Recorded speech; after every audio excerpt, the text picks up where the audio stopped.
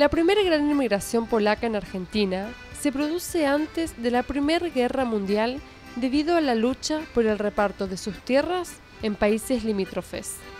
Bienvenidos a Cocinamos Todos. La Argentina es un crisol de razas, por eso hoy nos encontramos en la Unión Polaca para conocer un poquito de su gastronomía.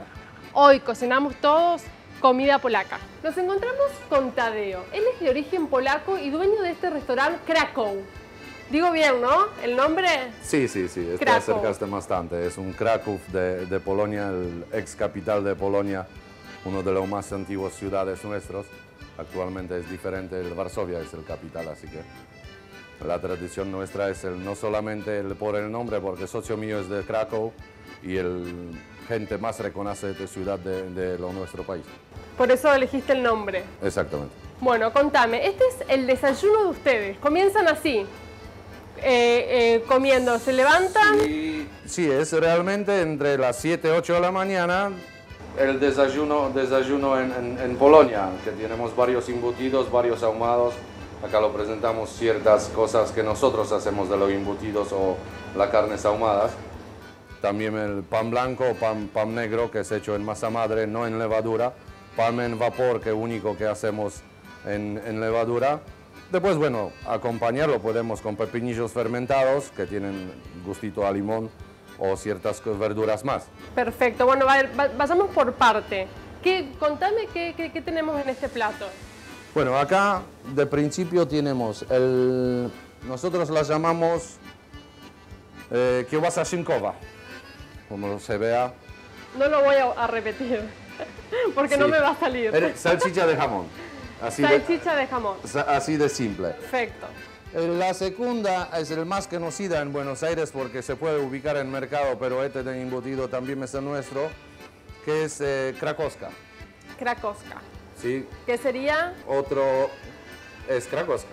Salchicha Krakowska. ¿Qué vas a, qué vas a Krakowska? Ok. Acá tenemos bondiola en castellano. En nosotros lo llamamos valerón. Valero. Sí. Siguiente es la embutido viesca, como se vea. El más conocido en la Polonia, los finitos estos son cabanossi, que recomiendo con cerveza 10 puntos. y acá tenemos lomo curado, que es hecho, hecho algo parecido de jamón crudo. ¿Tienen más o menos el mismo sabor del jamón crudo este? Y no, jamón crudo acá es salado, entonces tiene apenas gustito dulce, así que... ¿Y, el, procedimiento más o menos de esto es cómo? Ah, bueno, el procedimiento es ya más largo. Todos los embutidos llevan solamente para preparar y sazonar los carnes, son alrededor de 14-16 horas. Preparando la carne, poniéndolo todos los condimentos que necesitan llevar, son entre 8 a 11 diferentes hierbas o los convivientos. Después de esto lo embutimos en ciertas tripas en distintos tamaños y 14, 14 horas en ahumador en, diferentes temperaturas.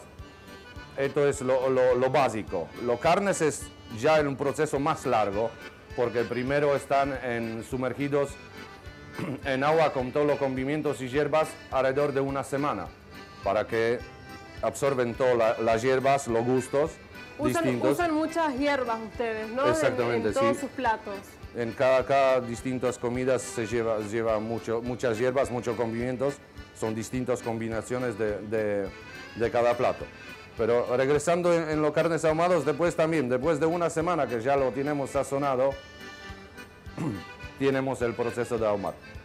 Así que vamos a cortar, cortar un poco. Vamos a ir probando a ver qué tal. Yo corto. Tadeo, y vos seguís acá en, la Argentina, vivís hace 13 años, ¿no? Exactamente, 13 años. ¿Viniste una vez? Eh, ¿Cómo fue tu llegada acá? Llegué acá por, vacaciones.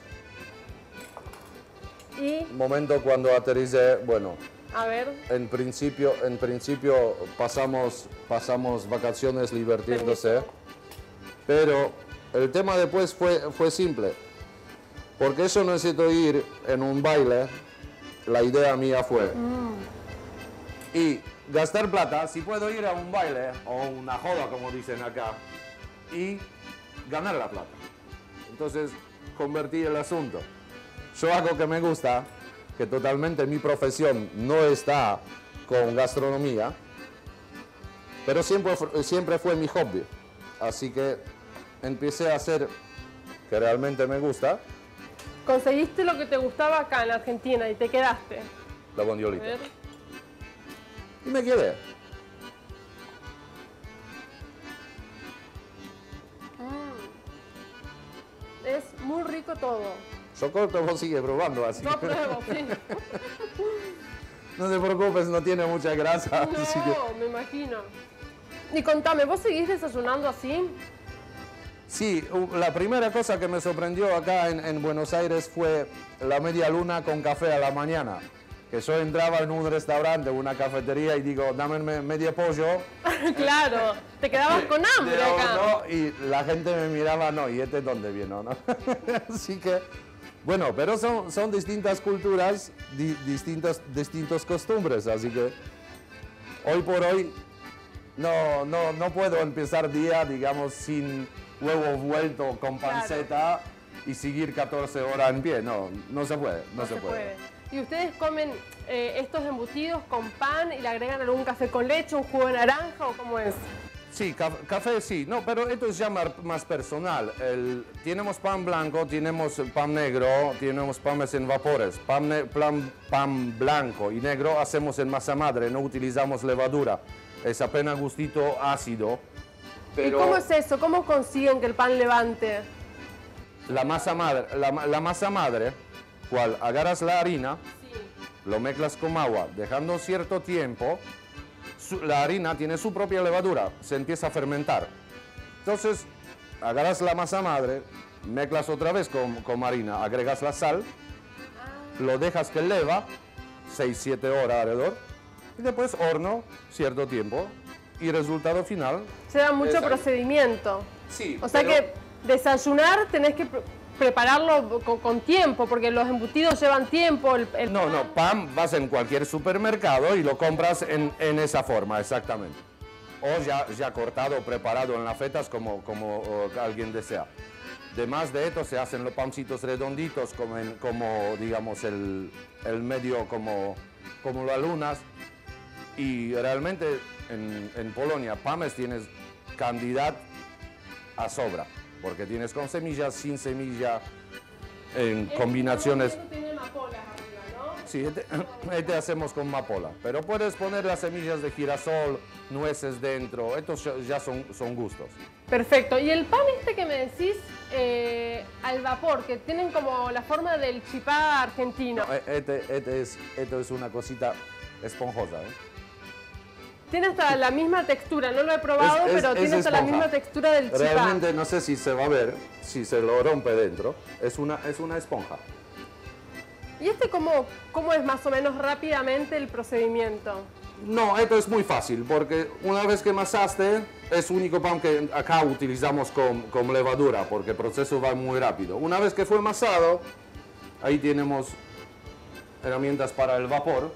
Se hierve agua, pones la canasta, digamos, de, para, colocar todos los bollitos. Sí. Y en 30, 40 minutos ya tienes el pan en vapor. Es ¿Cuál es neutro? Después, después lo, vamos a probar. Y lo, se puede combinar con dulces, con salados o con que sea. Este es realmente un pan muy neutral. Podemos combinar con que sea. Perfecto. A ver, Paulita, ¿me pasás el... Esta sería. Exactamente. Lo colocamos los bollitos dentro. Ah, acá a ver si lo toman. Tiene una pinta. Pero bueno, después probaremos todo. Bueno, y también los, pepinos. Los ah, los, pepinos, los pepinos, ¿verdad? Necesitas probar y opinar. Porque es algo que acá costumbre es de vinagre. Sí, de vinagre. ¿Y estos cómo están? Y estos son fermentados. Por un solo aspecto. En Latinoamérica tienen mucho, mucho frutas cítricas. De nosotros no hay tantos cítricos más en invierno, que es un invierno fuerte. Sí. Segundo tema, por el ex marineros, digamos, hablamos de las décadas de los reyes, no, no, muchos tenían problema con el escorbuto, en la enfermedad de, de los dientes. por falta de vitamina C. Entonces se buscaba forma para cómo conservar la vitamina C y esto fue uno de los productos, los pepinos, fermentados y repollo fermentado que acá lo llaman chucrut, que no es el chucrut porque acá ponen los vinagre, el aceite, etc. De nosotros el repollo fermentado es realmente mm. fermentado y tiene parecido gusto que el, que el, pepino fermentado. Muy rico. Que acá se siente el ajo, eneldo y el pepino. Bueno, acá les hemos presentado el desayuno entonces de los polacos. No sé si alguno de ustedes se animarán a desayunar así. Hay que, hay que ver, ¿no? Tenés en la cocina un solo argentino. Exacto, en el momento sí. Y desayuna así, ¿cómo lo ves desayunando así? Como si está flaco, no creo que desayune no, no, es como muy, muy potente. Pero bueno, también se debe al clima que ustedes tienen.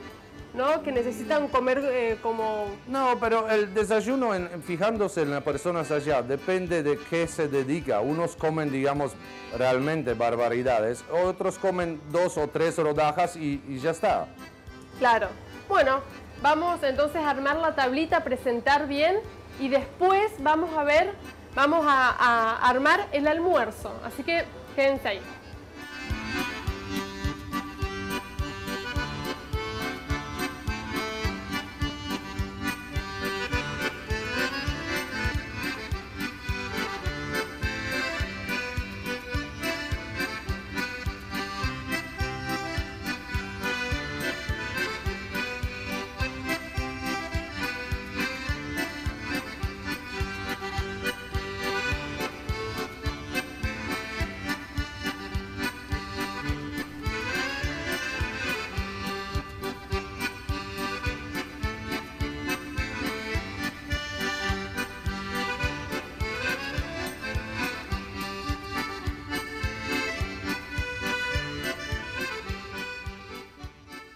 Le vamos a presentar la preparación de los panes al vapor. Vamos ingrediente a ingrediente, paso a paso. Vamos colocando primero la harina alrededor de la corona, la sal. Lo que vendría siendo nuestra espuma de levadura.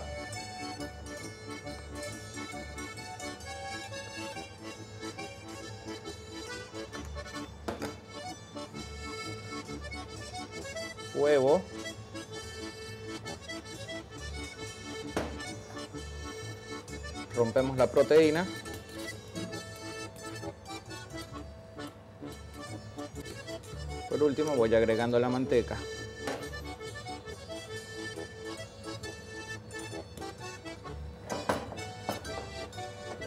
Una masa bastante, bastante aireada por la cantidad de levadura y una harina muy refinada.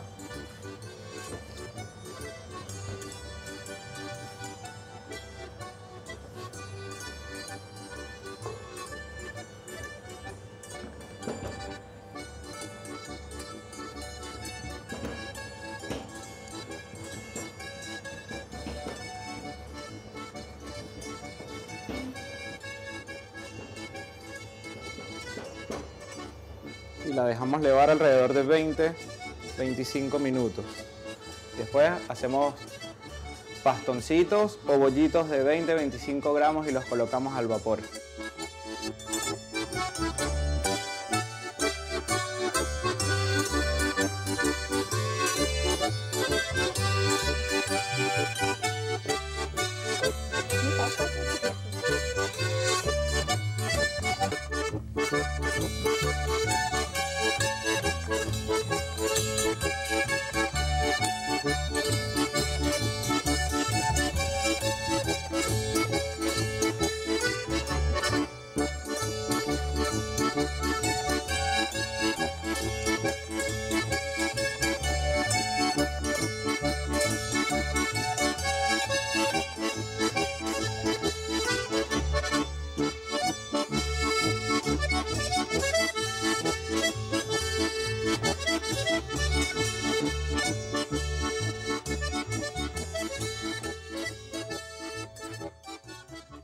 En búsqueda de una mejora económica, entre 1920 y 1939 se produce la segunda gran inmigración.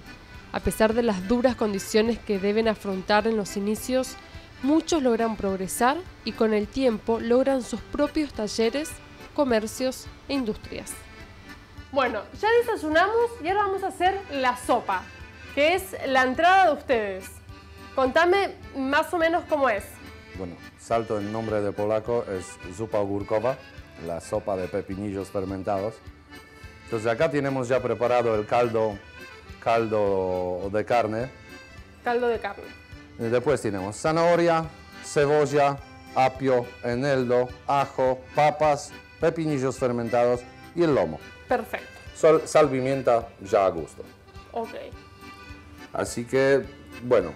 Comencemos. Esto sería, eh, hagamos de cuenta que está la olla en el fuego con el caldo. Exactamente. Y estamos agregando, primero, más que nada, yo quería que me ayudas un poco, rayamos ver, este pepino. ¿Cómo no?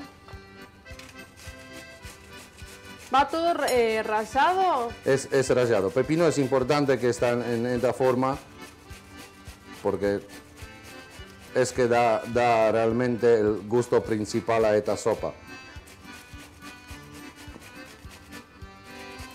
¿Lo hago bien? Sí. ¿Qué te parece? ¿Puedo ser un ayudante de cocina o no? Paso a paso vas aprendiendo. Bueno, este no, ¿no? No, no, ya está, ya estamos. Okay. Ya estamos. Entonces empezamos de, las de verduras, verduras duras sería la zanahoria. Zanahoria en cubitos. Esto lo pueden, si quiere alguien en casa jugar un poco más, lo puede poner enteros y después ya una vez que son blandos, lo pueden, lo pueden normalmente cortar en tamaño que, que degusten. Entonces tenemos zanahoria, apio, cebolla. Morada. Morada, blanca. Perfecto. Yo utilizo la, la, morada porque es, tiene más, más sabor, más, más gusto. Entonces por eso okay. utilizamos. Bien chiquitito. Sí. La cebollita. Eh, papas. Papas también en cubo. Sí. Después el ajo. ¿Y el ajo cómo lo pones? ¿Así entero? Entero, entero. El diente entero es un, un diente bastante grande. De, después de eso ponemos lo, los pepinos. ¿Eso lo tenemos que dejar hervir un tiempo? Sí, primero hervimos la, la, todas las verduras duras, que serían las papas, zanahoria, etc. Perfecto. Una vez que ya se ablandaron, obvio come el carne, que ahora no, no vamos a poner. El ca carne también. Esto que es lomo, ¿no? Sí, es lomo. Es eh, lomo eh, crudo, que se lo pone así enterito o lo cortamos sí, más lo, chico? lo, lo, ponemos en, entero y después una vez que ya, ya fue cocinado, lo vamos destrozando. Perfecto. Queda la carne como que se, se Tirita, desarma, ¿no? Tiritas, sí, exactamente. Perfecto. Y al final ponemos el, el, pepino fermentado ya rallado y agregamos el eneldo. Eneldo ya es el, digamos, determinación del plato, que lo picamos muy finito. Y Este ya, ya, ya una vez que está, que está picado, plato está hecho, es agarrar un, un, digamos, un poquito y dar por encima. Un condimento.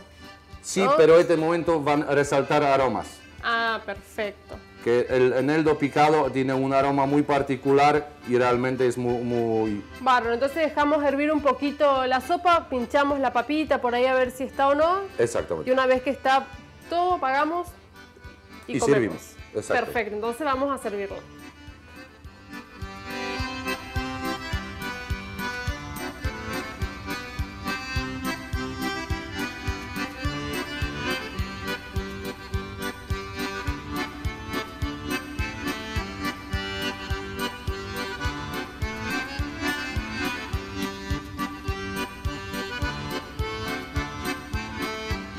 En el primer gobierno de Perón, Argentina se mantuvo neutral y se produce una nueva y masiva corriente migratoria.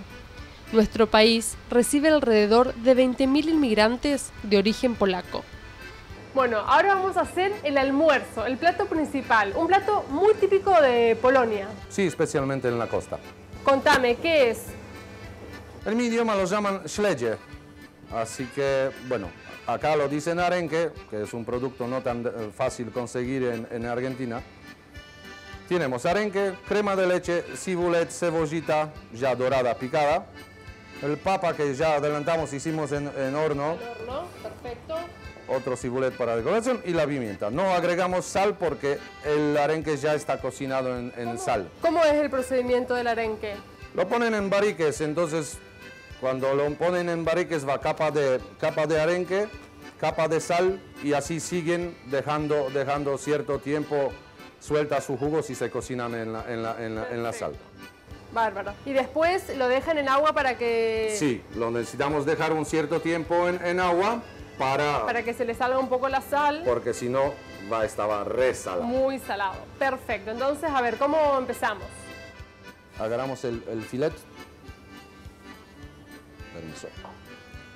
Y hacemos, el, el corte es sencillo, no hay mucha, mucha ciencia en eso. Por la mitad. Sí. Y ahí damos más o menos el tamaño de cubitos.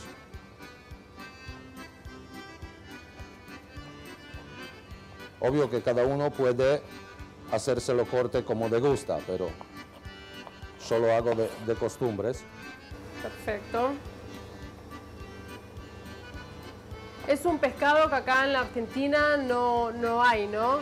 Sí hay, sí hay, pero es muy difícil para conseguirlo, porque es un pez de mar Báltico, típico de allá, pero hay comunidades que lo consumen bastante. Estaba leyendo, las hembras ponen 40.000 huevos al año. Mucho, ¿no? Impresionante. bueno, ya tenemos cortado el, el arenque y lo vamos agregando. Bárbaro. Eso. Ahora, si quieres con- continuar, agregamos Bueno, crema de leche. A ver. Es un, es un plato Muy típico de la costa de, de- de Polonia. Agregamos buena cantidad de la, de la cebollita dorada, ya picada. Pongo todo. Sí, como quieras. ¿Y ese o No. no? El, eso dejamos, dejamos después. Primero unimos lo, todo lo partes. Importante es no agregar sal. No agregar sal. El pescado ya es bien salado. Bien- Ya es bien salado. Perfecto. Bueno, siguiente paso, la papa, como ya tenemos la cocinada, lo abrimos. Con cáscara. Sí.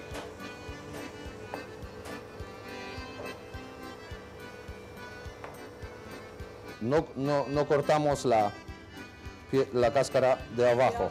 Queda abierto así. Perfecto. Un plato. Ahí está. Y ahora estamos emplatando. Entonces, la papa, la papa va a estar nuestro base. Y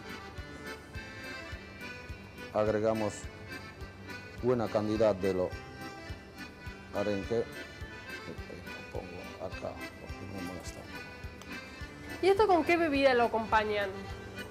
Son ya gustos personales, pero mayoría ya saben que pescado va bien con vino blanco. Unos que degustan cerveza pueden acompañar con cerveza. Es, o si alguien ama una buena vodka, yo personalmente iba con vodka. ya lo sé.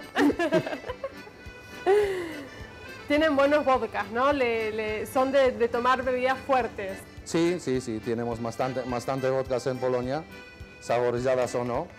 Y cerveza también. Suelen Y tomar mucho. cerveza también, también, hay bastante, bastante desti- desti- distintas destilaciones. Bueno, cibulet, la decoración.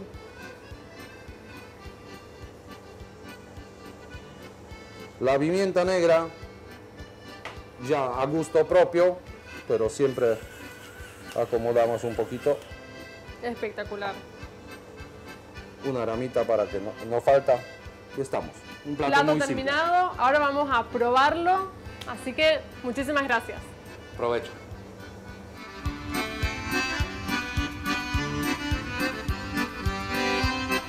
El preámbulo de la Constitución de la Nación Argentina hace referencia, desde 1853, a todos los habitantes del mundo que quieran habitar el suelo argentino y en su artículo 25 reafirma el fomento a la inmigración. Bueno, nos encontramos acá con todos los platos que Tadeo nos ha hecho. Muchísimas gracias. Ahora vamos a probar. Eh, recordame cómo se llamaba el plato este de arenque con papa. Śledzie w śmietanie. ¿Entendieron? No lo voy a repetir porque no me va a salir. Bueno, ¿y qué tenemos? ¿Qué bebida es esta? Es un trago muy reconocido, digamos, no solamente acá en Argentina, generalmente lo reconoce cualquier cosa, eh, cualquier persona que sepa un poco del tema de vodkas. Es una zubrówka con jugo de manzana que este trago particularmente llaman tatanka. Tatanka, perfecto. Bueno, muchísimas gracias, brindemos. Gracias por acercarnos un poquito de tu tierra a nosotros, compartirlo con el público. Eh, realmente todo muy delicioso y muy amable. La Biblioteca de la Unión de los Polacos es la más importante de toda Latinoamérica, dedicada a la temática polaca. Está conformada por una colección de más de 20.000 libros, materiales fotográficos, videos y documentación referente a la historia de la inmigración polaca en la Argentina. Bueno, pasamos a la parte del postre. Contame qué es cada plato. Los postres comunes para mí, pero bueno. Eh, empezamos. Este es sernik na zimno, que tiene una combinación de los quesos, eh, frutas, gelatina. Segundo tenemos jabłecznik, que es relleno de, de manzana. Y el último son pierogi z jagodami, acompañada con crema de leche. ¿Qué son? Perdóname, ¿qué tienen que las empanaditas esas? ¿Rellenas de qué son? Eh, normalmente en mi país se rellena con, con miagodi, es una fruta de bosque. Acá lo, lo pusimos arándanos, Arándanos. el blueberry. Pero bueno, gusto es casi exacto igual, así que tratamos, tratamos acercar un poco tierra, tierra de Perfecto, bueno, ahora vamos a ir probando cada plato. Y así como nuestra bebida típica en Argentina es el vino, en tu país el vodka. El vodka. El vodka. Y que se te ilumina la cara cuando digo la palabra vodka. así que, a ver, mostrame algunos, algunos vodkas típicos. Bueno, vamos por la, por la, digamos, creo que no tan reconocida en, en Buenos Aires. Ahora un poco ¿Estos se- a, a qué temperatura los tenés? En casi menos 30. Ok. El aspecto es que acá poca gente sabe que vodka caliente es un asco. No se Sí. puede, no se puede No, tomar la vodka caliente. Si sería la mejor del mundo, pero caliente va a estar asco. Servida bien fría, bueno, aspecto cambia. Como cada vodka tiene su gusto propio, ahí puedes saborear realmente la, la vodka y disfrutarla a no, digamos, ponerle cara de... Ustedes lo toman al vodka puro. Sí, Nosotros acá en la Argentina generalmente eh, lo rebajamos con jugo, con algún energizante, eh, no, te- no- no lo tomamos solo. y ahí pierden la esencia y el sabor de la vodka. Claro, no tenemos esa, esa cultura. Pero hoy por hoy hay mucha gente que viene preguntando de qué se hace la vodka, de qué vino la destilación, con qué está hecho o cómo se la puede tomar. Ahí en este momento tratamos... ¿Y cuál, cuál- cuál es tu preferido? Por ejemplo, si vos tenés una cita, querés conquistar a una mujer, eh, ¿qué bebida elegís? ¿Elegís el vodka como primer cita? No, si, estuve, si estoy como una mujer, bueno, no, obvio, no lo voy a proponer una, una vodka porque, pura porque lo voy a desmayar, pero Claro. en corto tiempo. Pero con la zubrówka, ahí como estamos degustando el momento, y jugo de manzana haciendo un, tracto, un, un trago, ya obtenemos un bastante lindo trago, saboroso, Y más tranquilo. y es más tranquilo. Que podemos pasar un tiempito hablando tranquilo a no pasar de, de borrachera. Está perfecto. Bueno, muchísimas gracias. Hemos aprendido un montón de la gastronomía polaca. Eh, brindo con, por- con vos. Eh, gracias por acercarnos un poquito, como te dije recién, de tu tierra a nosotros. Y bueno, nosotros nos encontramos la próxima con más Cocinamos Todos. Gracias. Salud. Salud.